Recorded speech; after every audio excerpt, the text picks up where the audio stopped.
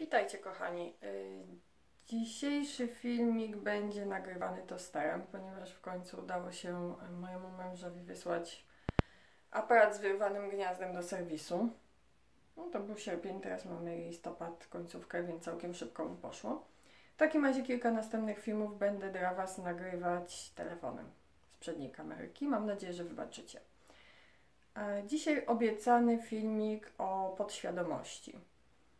Nie będziemy jednak rozmawiać o podświadomości pod kątem teorii mm, znanych filozofów czy psychologów, także zostawiamy sobie podświadomość w kontekście e, na przykład id, ego, superego i tak dalej, i tak. Porozmawiamy sobie o podświadomości pod kątem czysto użytkowym mm, i pod kątem takim, mm, jak możemy rozważać ją, patrząc na przykład na zniekształcenia poznawcze, o których mówiłam ostatnio.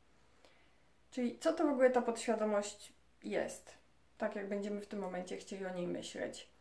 Podświadomość to jest ta część nas, która troszkę działa tak jak instynkt u zwierzaków. Czyli dba o to, żebyśmy przetrwali i abyśmy byli bezpieczni. Jej mechanizmy odbywają się, jak sama nazwa wskazuje, pod świadomością, czyli nie są świadome. Czym steruje podświadomość? Podświadomość na pewno steruje wszelkimi procesami fizjologicznymi. No bo nie zastanawiamy się nad tym, jak bije nam serce, w jakim tempie bije nam serce, w jakim tempie oddychamy, jakie hormony są wydzielane. O to dba podświadomość. Dzieje się to cały czas w tle, tak jak jakieś procesy w komputerze. E, ma to zagwarantować, jak już mówiłam, nam bezpieczeństwo. Czyli w momencie, w którym pojawia się zagrożenie, podświadomość uruchamia w ciele odpowiednie hormony, które powodują przyspieszenie akcji serca, przyspieszenie oddechu, możliwość y, powiększenia wydolności mięśni, tak żebyśmy na przykład mogli uciec. E, tym wszystkim steruje podświadomość. Ma ona na celu same dobre rzeczy, czyli jak już mówiłam, zapewnić nam bezpieczeństwo. Dlaczego nie zawsze podświadomość jest naszym sprzymierzeńcem? Czasami, tak jak w przypadku występowania schematów zniekształceń poznawczych, może być wrogiem generując stres może być wrogiem. Czemu w ogóle tak się dzieje? E, otóż dlatego, że podświadomość nie myśli, nie weryfikuje pewnych rzeczy. Podświadomość jest magazynem pamięci, wspomnień i realizuje schematy, które sobie wytworzy. Schematy oczywiście można zmieniać, natomiast podświadomość tego nie robi. Jest jakby robotem funkcjonującym y, na prostych zasadach, nie sztuczną inteligencją. Polecenie, wykonanie, polecenie, wykonanie. Rozpoznaje sytuację, włącza schemat, wykonuje. Skąd w ogóle biorą się jakieś błędne schematy, kody? E, o kodach podświadomości rozpisywała się pani Beata Pawlikowska. Napisała również książkę w dżungli podświadomości, którą mogę polecić. E, pani Pawlikowska, co prawda, w swoich publikacjach ma tendencję do powtarzania się w kółko, w kółko i w kółko, natomiast ogólnie czyta się to dobrze i, i warto się przyjrzeć, przynajmniej jednej z tych pozycji. E, jak to wygląda, skąd to wszystko się dzieje? Otóż w bardzo wczesnym dzieciństwie bylibyśmy szczęśliwymi ludźmi, gdybyśmy od początku byli wyposażeni w pakiet emocji, e, które pani Pawlikowska nazywa tak Jestem ważny, potrzebny, bezpieczny i kochany. Gdybyśmy to poczucie mieli od początku, nasza podświadomość działałaby ok. Natomiast często się tak nie do końca dzieje, natomiast podświadomość cały czas dąży do tego, żebyśmy te wartości, o których wspomniałam, mieli zachowane. I teraz na przykład tak, y, u małego dziecka tworzą się dopiero te schematy, w jaki sposób powinniśmy funkcjonować, tak żeby czuć się właśnie ważnymi, potrzebnymi, bezpiecznymi i kochanymi ponieważ jest to dla nas najważniejsze, żeby jakby funkcjonować. To powoduje, e, daje nam stabilność naszej konstytucji psychicznej. No i co może się zadziać? Może się zadziać tak, że dziecko dostaje informację zwrotną od rodziców, że nie jest zauważane. Ogólnie są zajęci swoimi sprawami tak bardzo, że tego dziecka nie widzą.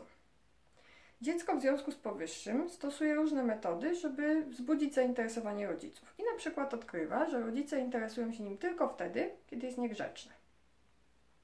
Sprawia kłopoty. Interesują się nim w sposób następujący. Zaczynają na nie krzyczeć. Krzyczeć, bić, różne rzeczy się zdarzają. Dziecko jednak w tym momencie ma poczucie, że zwracają na niego uwagę. Jeżeli zwracają na nie uwagę, znaczy, że kochają. Dziecku wykształca się patologiczny schemat mówiący, jeśli ktoś mnie bije i na mnie krzyczy, znaczy, że mnie kocha. A potrzeba miłości jest jakby ważniejsza niż y, to, że jest w tym momencie niby karane. Ponieważ poczucie bycia kochanym jest wartością nadrzędną. Kolejna rzecz. Rodzice potrafią, na przykład robiąc coś dobrego dla dziecka, powiedzmy, wywieźcie z domu, nie wiem, na wakacje do cioci, bo tam jest dobre powietrze, jest zdrowo. Małe dziecko nie rozumie kwestii zdrowo, niezdrowo, potrzebne, niepotrzebne. Rodzice mają pracę, nie mają pracy. Rozumie, że jest wywiezione. Rodzice mnie nie chcą. Jest syndrom porzucenia. Jest syndrom tego, że cały czas, że każda forma rozłąki z kimś bliskim jest odrzuceniem. W związku z czym w dorosłym życiu będą dążyć do tego, żeby za wszelką cenę być z kimś łącznie. Będą bali się samodzielności, będą bali się różnych innych rzeczy. Tworzy się y, mnóstwo różnych takich kodów, tak jak są osoby, które cierpią na hipochondrię, ponieważ kiedy były małe, odnotowywały to, że rodzice, którzy są na co dzień zabiegani, zwracają na nich uwagę tylko wtedy, kiedy są chorzy. Więc jakby cały czas ich podświadomość generowała w nich choroby i potrzebę nawet nie tyle symulowania, ile autentycznie oni stawali się chorzy po to, żeby być kochanymi i zaopiekowanymi. Kiedy jestem chory, jestem bezpieczny, bo rodzice przy mnie są. Więc na tej zasadzie tworzą się pewne patologiczne schematy w myśleniu, które później nam przeszkadzają. I tak naprawdę w wielu przypadkach e, nasze perfekcjonizmy, nasze problemy w pracy, to, że nie potrafimy być kreatywni, to, że wiele innych rzeczy się z nami dzieje, bierze się stąd, że pierwotnie ten schemat, który powstał w dzieciństwie, rzeczywiście miał zagwarantować nam potrzeby bezpieczeństwa. No bo jakby nie patrzeć, takie dziecko, które zachorowało, faktycznie dostawało opiekę rodzica, co jest naturalne. Tyle, że jakby nie powinno się to przenieść na schemat taki bardzo ogólny, na który jednak się przeniosło. E, tą samą funkcję pełnią właśnie yy, kwestie jakby zaburzonych schematów postrzegania, czyli te zniekształcenia poznawcze. Bo jakaś sytuacja, która kiedyś w naszym życiu zaistniała, wytworzyła schemat i w tym momencie ten schemat się włącza po to, żeby nas ostrzegać przez, przed potencjalnym niebezpieczeństwem. Często tego typu rzeczy są spychane do podświadomości tak głęboko, że ciężko nam jest je odzyskać. Natomiast w procesie terapii albo autoterapii warto na przykład przyglądać się, że w moim życiu istnieje taki schemat i zastanowić się nad tym, kiedy możemy go już zidentyfikować, skąd ten schemat mógł się wziąć. Warto jest w tym wypadku najpierw znaleźć emocję, którą dana sytuacja generuje, przyjrzeć się tej emocji, zobaczyć, co z nią się dzieje, e, zastanowić się, co dokładnie wywołało te emocje, danej sytuacji. I zastanowić się, skąd ta sytuacja, jakby dlaczego ten schemat nam się pojawił. Czyli na przykład systematycznie awanturujemy się z partnerem, współmałżonkiem i zastanówmy się, dlaczego tak naprawdę tak się dzieje. Czy bierze się to stąd? Yy, przede wszystkim zazwyczaj czujemy gniew ale należy się zastanowić, jakby co jest za tym gniewem, co wywołało konkretnie te awantury. Czy faktycznie chodzi nam o to, powiedzmy, że ten mąż systematycznie odkłada widelec nie w tym miejscu, czy może chodzi nam o coś innego? Być może jest to coś, co powoduje, że nie czujemy się kochani. Jeśli nie czujemy się kochani, to warto zastanowić się, e, czy, tak jak wcześniej mówiłam, nie próbujemy w jakiś sposób podświadomy zwrócić na siebie uwagi. Czy być może w naszym dzieciństwie nie było takiej sytuacji, że widzieliśmy, że rodzice albo zwracają na nas uwagę wtedy, kiedy jesteśmy niegrzeczni, ale być może też jest to interakcja, która między nimi funkcjonowała. Tak naprawdę jako dzieci chłoniemy jak gąbka. I te schematy później, które w nas pokutują, można przepracowywać, ale trzeba być bardzo, bardzo konsekwentnym. Dlatego, że podświadomość boi się zmiany jakiejkolwiek, ponieważ zmiana nie jest bezpieczna ogólnie jako założenie. Lepsze jest coś, co jest nieproduktywne, ale bezpieczne, ponieważ priorytet podświadomości mówi, ma być bezpiecznie. Nawet jak za przeproszeniem jest chujowo, to jest bezpiecznie. E, natomiast wszelkie niebezpieczeństwo trzeba omijać. I jeśli mamy schemat, który jest dla nas szkodliwy i chcemy go zmienić na produktywny, to musimy pokazać podświadomości, że to, co wyniknęło ze zmiany, jest dobre ale nie jeden raz, ponieważ nie przekonamy podświadomości, która już sobie to wypraktykowała, tylko na przykład 500 razy. Czyli systematycznie musimy pokazywać na, nam samym gdzieś w środku, że to, co robimy, jest nowe, jest nadal bezpieczne, jest nadal produktywne i jest nadal wartościowe.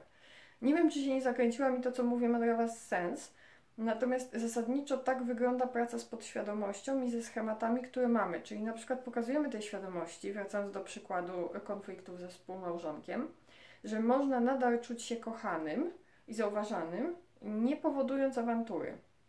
Czyli tworzymy taką sytuację w życiu obecnym e, ze współmałżonkiem, żeby on nas zauważał. Czyli na przykład, nie wiem, e, nie mówię tu o podlizywaniu, ale na przykład proponujemy wspólne wyjście, wspólny obiad, coś innego, co spowoduje, że ta osoba nam da uwagę i poczujemy się kochani. I powtarzamy schemat na tyle często, że podświadomość zauważy, że wcale nie musi generować awantury tylko po to, żebyśmy poczuli się dobrze. Oczywiście jest wiele innych metod na to, żeby poczuć się kochanym po prostu samym dla siebie, ale w tym momencie mówię już o takiej bardzo uproszczonej metodzie. Także tak to mniej więcej wygląda. E, myślę, że temat y, uprościłam na maksa, no ale już mamy tak naprawdę 11 minut mojego gadania, więc nie chcę Was zamęczyć. E, jeżeli macie jakieś pytania, jeśli chodzi o podświadomość, to zapraszam na priv, zapraszam też do, do grupy, którą utworzyłam tak bardziej pod kątem mm, bioezo, skupiającej się nie tyle na farmakoterapii, klasycznej psychoterapii, ale właśnie na samorozwoju, e, na różnych innych technikach, również artmedowych. Także jeżeli by to kogoś interesowało, to zapraszam na Facebooka do tej grupy. Spróbuję też podlinkować Wam jakoś teraz w opisie. Jakby co. No i oczywiście piszcie, komentujcie. Trzymajcie się, papa. Pa.